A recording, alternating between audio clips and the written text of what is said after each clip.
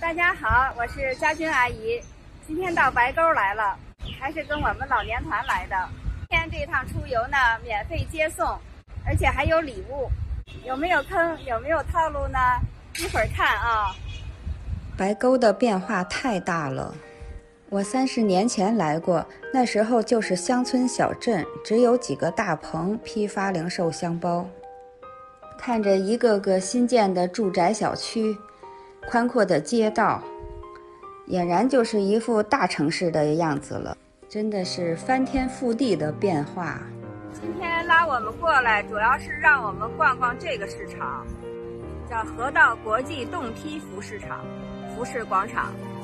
这个动批就是原来北京的动物园服装批发市场搬过来的，规模挺大的。这是男装，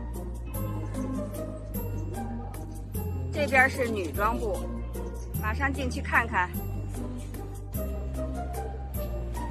市场内的环境和布置看起来和其他的批发市场没区别，来上货和购物的人也不多。呃，我们来之前就跟我们说是来给捧场的。我大概的逛了逛，楼上楼下也都看了，东西确实挺便宜，就是我没什么要买的。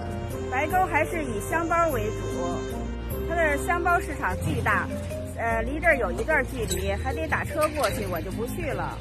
这附近好几条街经营的都是做箱包需要的各种材料。足见它的箱包市场有多大，所以至今白沟依然是北方地区最大的箱包集散地。白沟购物之旅圆满结束，上车回家，大爷大妈们都没少买。段哥买的夹克，五十块钱，金丝绒的，五十块钱啊，不错不错，真值。段哥这是买了几袋子衣服啊？我书包装满了，装满了。啊，看来大家都买的开心，这就是最好的收获。我们这趟免费游，按照以往的套路去了一家卖阿胶的店，买不买全凭自愿。每人赠送了一包阿胶枣和一桶洗衣液，放心吧，没有坑。